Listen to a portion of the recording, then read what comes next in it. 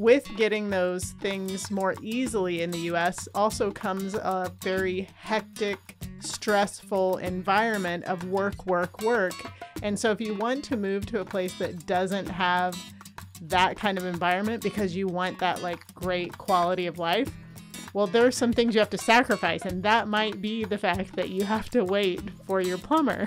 So I would say if you want a relaxed lifestyle, you might have to relax a little bit. Hey, Pablo, so excited to have you back again and excited to talk about how to adjust to a new culture. How are you doing today? We're doing great. I'm so excited to be here again. Today I'm in San Juan del Sur, Nicaragua. So that's that beautiful view Ooh. here. If you haven't visited Nicaragua, Nicaragua has some amazing places for you guys to travel and visit. This is just one of my favorite spots. Uh, let's get into topic: how to adjust to a new culture.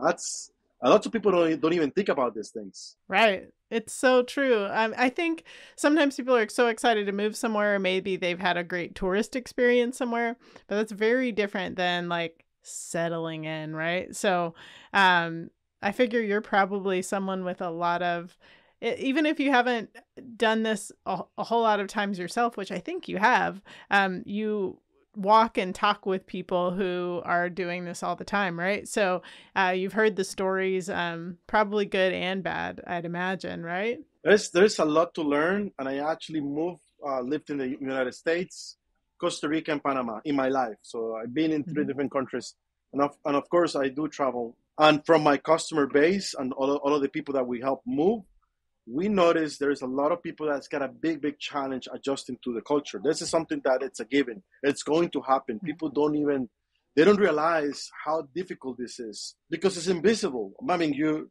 a lot of a lot of other things are very obvious. You need a house. You need to do immigration, maybe. You need to, you know, get adjusted to a local community. You know where to go and shop your groceries.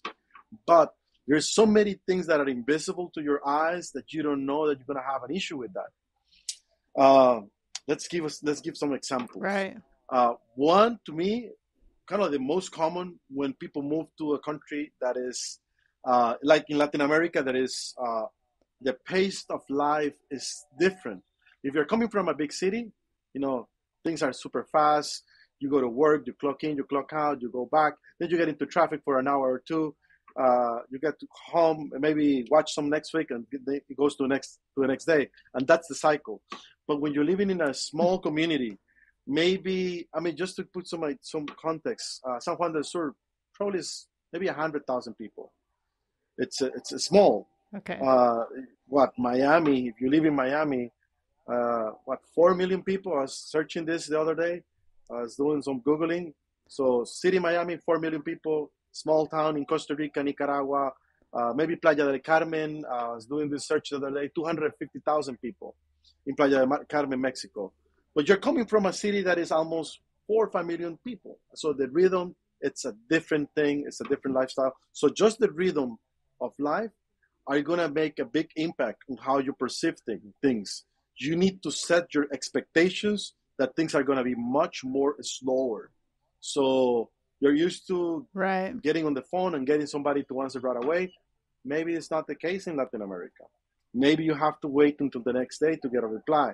And I'm not saying that's good or bad customer service. It's just in general, things right. are at different mm-hmm. pace. Uh, people's got people down here in, in our countries in Latin America, they just have another rhythm. Panama, it's kind of like, it's exactly what I'm saying. A lot of people complain about moving to Panama, mm-hmm. Panama because they said the customer service is not there or is very little customer service. And I find out that this just kind of like the culture is like that. Uh, they right. get an email, uh, they go get some coffee, it's relaxed, it's more, you know, it's just another rhythm. So I think that's one of the biggest things, the rhythm. In fact, in Costa Rica, because we have in Costa Rica this saying, it's called pura vida, which is pure life. The little little translation for that is pure life. Uh, a lot of gringos, mm-hmm. North Americans, Canadians, they come in this fast pace, expecting that everything is going to happen yesterday. I need a new fridge. Yeah. I want to hear now. No, it's not going to be now. You, not even if you are paying. And a lot of a lot of people think, oh, I'm paying for this. I should be getting it right now. But our our mm-hmm. rhythm in general uh, once again, I'm not saying this is good or bad customer service. Whoever figures out how to run a business in Latin America that gives this immediate delivery of anything, you know, 20 and 24/7 delivery, just like Amazon. If anybody figures this out in Latin America, they could probably be rich because it's not insistent. Right. Even if you wanted to, because right. the labor force is just a complete different rhythm. I think that's one of the big differences in Spain is that there's just a relaxed, uh, more relational culture, and that means that, like, you in the it. US, if you need a plumber and it's an emergency, you can get somebody like that. And maybe you pay a little bit more for that emergency service. But in Spain, you better use the bathroom at somebody else's house because there is no way. There's just, you're not going to have that availability. And it's just different. And it's not that it's bad, it's just that they prioritize different things. And there's nothing necessarily wrong with that, but it is an adjustment.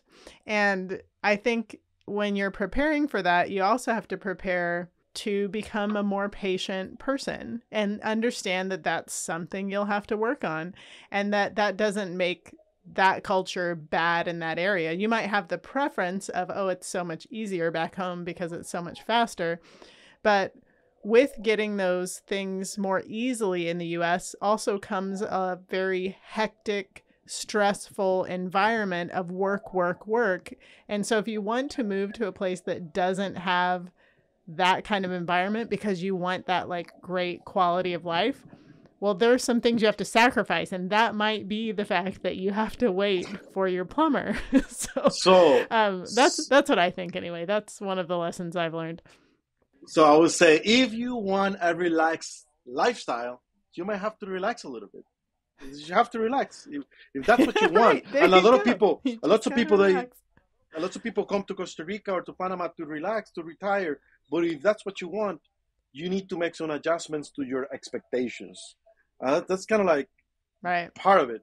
The big, the, the one thing I want to let our audience know is, do not take this from, uh, do not forget about these things. Do not forget that you might have a big uh, cultural shock, and start looking for these gaps mm-hmm. in the culture as early as possible, so you can make the adjustments if you need to make the adjustments, or you could decide not to move to Costa Rica. You might want to decide to move to Cancun, Mexico, which is a little bit more like a resort type of community, uh, you know, more American standard, you know, type of restaurants and sure. hotels and so They on cater so to the tourists.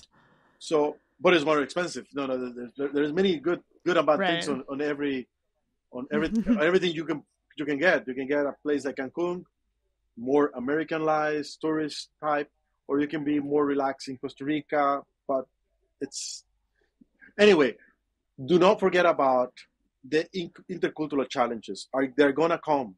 It's there. Mm-hmm. One one thing I see that a lot of people complain about is in because there is a lot of informal businesses, so there is less formality. So you're mm-hmm. gonna let's say you need a plumber, mm-hmm. and I'm sure this is this might be the case in Spain. Correct me if I'm wrong, mm-hmm. but you need a plumber, and then you search online for a plumber, you ask around. Uh, they, they may not even have an email for business because they don't do business through an email. But maybe they only have WhatsApp. Okay, and that's the most formal thing they mm-hmm. do. And not, and they send you this is my price, but they don't send you a quote or a proposal or an invoice. They're just gonna say something like ten dollars an hour or oh it's gonna cost you uh, eighty dollars or eighty euros, whatever it might be. So it's very informal, mm-hmm. just a little text and if they have an email, it's going to be something like the plumber123 at yahoo.com. So they don't have the mentality of having a business that is registered, a brand, the formality, the processes. Sure, right. And this is most of the business, most of the small business that are mom and pop businesses in Latin America and these small communities are going to be like that. Um, because there is no need for these people. They don't have the need. They are always busy, and even with that, they could be busy doing their own thing. And if they're not as busy, anyway, their lifestyle mm-hmm. is not expensive, so they don't. They could work three days a week, fixing here and there, and that's that's that's enough. They don't have this capitalism mentality that it's in in the U.S. that you have to work sixty or seventy right. hours to drive the brand new truck We don't have that. Like most people do not really care about driving that that, that fancy pickup truck as a contractor. Uh, so you see them coming in their bicycle, you know, or maybe in a small little car uh, to fix your your the plumbing on your house, and they say, "Oh, I'm gonna be there tomorrow at 7 a.m." and it's noon, and they're not there yet because they stop by somebody else's house. They forget they have to pick up something. Once again, that's not good. It's not not acceptable. Like I don't have that in my business, by the way. We have processes, systems, and mm-hmm. li- little customer service department. uh, we have people. We have, but I notice, I notice that's what a lot of people complain about. Complain about. They most people sure. most people yeah. care more about the relationships. This is why I say you nail it, because in Latin mm-hmm. America, mm-hmm. people would rather spend more time with their kids than making an extra buck. For that sure. that means that you can have this fancy project and you can say, well, this project is ten thousand dollars or twenty thousand dollars, and they could say, yes, of course. How long is it going to take you? And and then you want it done in 30 days because you know that's possible in Florida. Maybe that's possible possible in the US. But in Spain or Costa Rica, they're gonna say, no, it's gonna be three months. And then okay, see, right. why? Because at 435 they're gonna be getting their tools, picking everything up because they wanna go to their brother house to get a glass of sangria and have some good friend because have some good time with their friends and that's kind of like the things you need to ju- you need to adjust. So in that in that in the same in that in the same th- thought is we are more relation relational type more family oriented. You can come to us last minute uh, we're closing at five. You can come to us you know 10 minutes to five and you're gonna get more likely yeah i'm sorry i'm about to close. You can come back tomorrow. And that right. could be in restaurants coffee places any place while in a place like in the United States, if if you are in before the hour, you are being served until you go. Um, you could be, you could be doing right. dinner, right. and then if they're closing at 11, 11 p.m., you get there five minutes before the hour. If you get in, you get served until midnight. It's just it's just right. it's more business oriented, so they they appreciate more that extra income than just having their employees go home, mm-hmm. relax, uh, or rest for the next day. So that's not the case in a lot right. of our countries uh, in Latin America. That's I've seen a lot of people complain about that, but you just need to really prepare for these things. A lot of times you have to deal with public institutions. So another good thing is if you have to go to a public institution in Costa Rica, in the U.S., I remember going to the DMV, getting a renewal of the driver mm-hmm. license, uh, maybe two yeah. hours. If there is no line, 15 minutes. If there is a lot of line, two, three hours. But in Costa Rica is going right. to be half day, six hours, four hours. Oh. There's always going to be a huge line. There is no there is no a mm. DMV in every county, or no, it's just one DMV in San Jose, and people travel hours to get there. Maybe a few other ones in the other bigger cities, but that's it.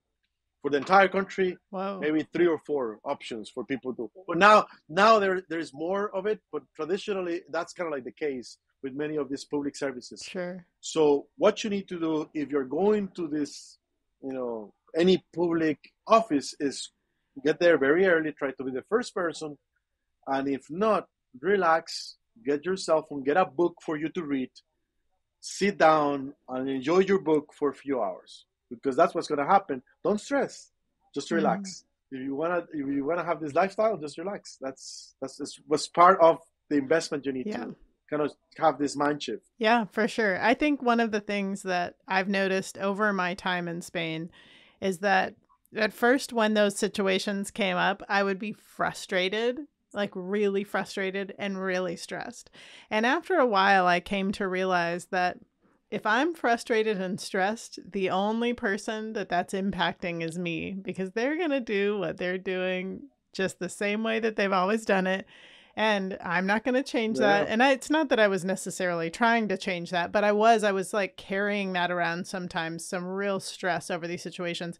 And on this last trip, when I was supposed to get my car back in two days and then didn't have it for a month and a half, I just said, "Yeah, well, that's what that's the way it goes." And and it's so much better for me for me, like forget everyone else. They're not impacted by that, but it's better for me to just relax, really. like to say, I'm not going to carry that around. It's just the way that it is and move on. Because if I'm getting frustrated, it doesn't benefit anyone.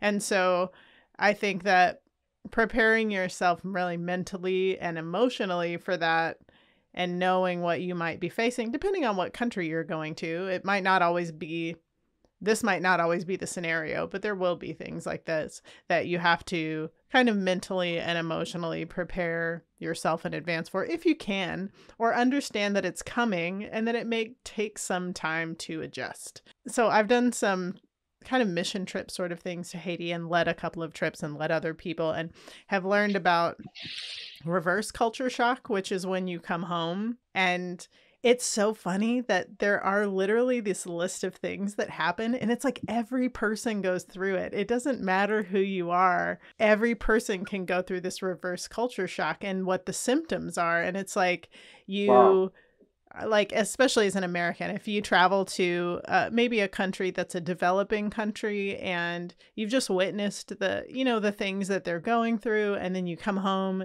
and you see someone maybe that's pushing their dog around in a stroller or just some extreme example of uh, you know that you would never see that in these other places that you visited. And so when you see that you may get angry and then you go through these steps of like first I'm angry and then I'm trying to tell everyone everything that's wrong with America because I've been, you know, to this other place and I'm so mad. And if you only knew, but and then you realize that none of those people care because they haven't been there and they haven't seen what you've seen.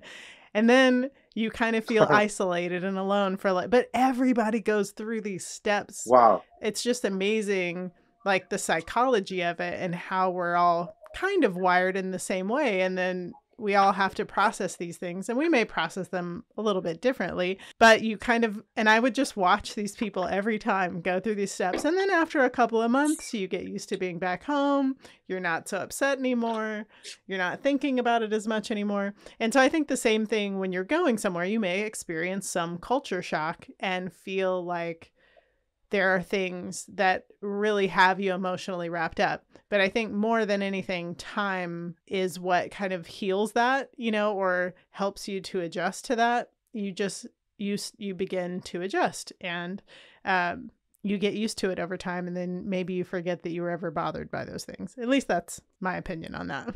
You know, I see. You know, another very common I'm just trying to go through different cases of very common things why people get upset mm-hmm. and they have this intercultural shock, uh, kind of with the culture, at least on the countries I am based, Mexico, Latin America. One of the things you see when you find a provider, oftentimes, is yes to everything.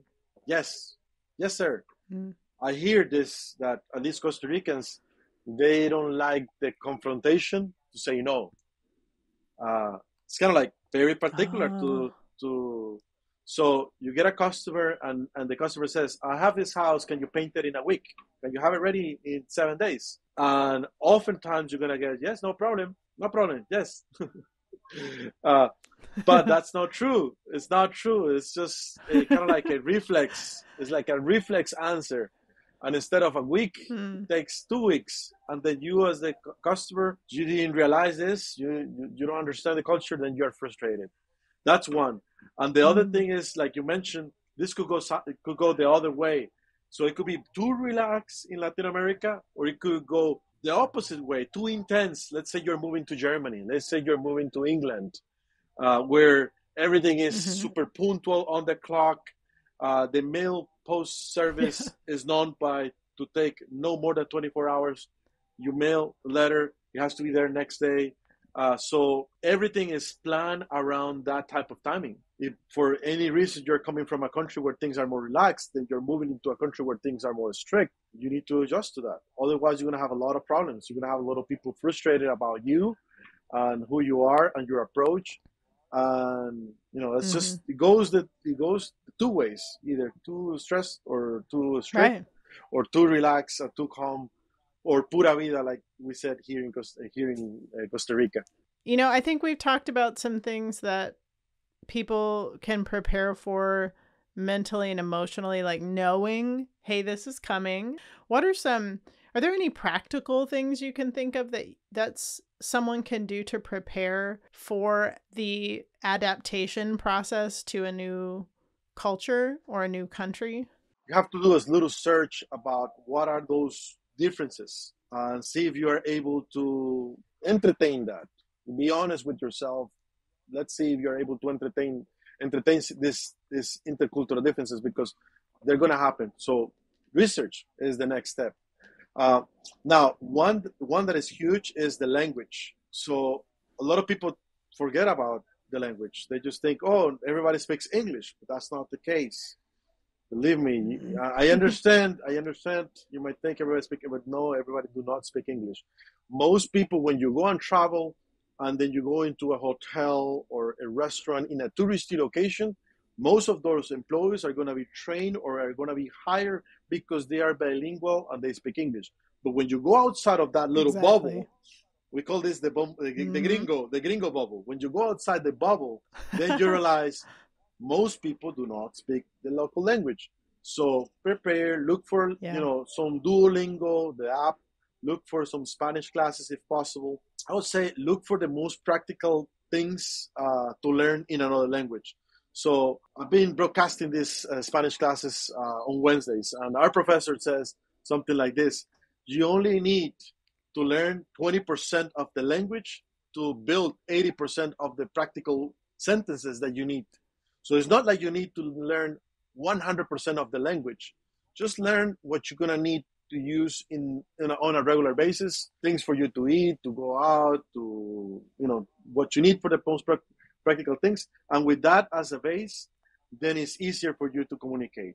But prepare for the language because it's going to happen. Yeah, for sure. That makes a lot of sense. I think uh, one of the things in working in the field that I've worked in with a nonprofit, we've seen them send Americans to certain countries. We don't do as much of that anymore, but um, you know, maybe a family is going to live somewhere where they're planning to work with the local people there for five, ten plus years. And most sending agencies, I feel now, have learned if you want people in for the long haul, for the first year, all they're doing is language learning. Like, oh my god, or that you know, I mean, that's what a lot of the focus has to be. If you are really in it for the long term, then that's so important because people will go start to try to do work, and just everything kind of crumbles if you can't communicate. Um, and that can be whether that's practically things can not be great, but also mentally and emotionally if you can't connect to the community.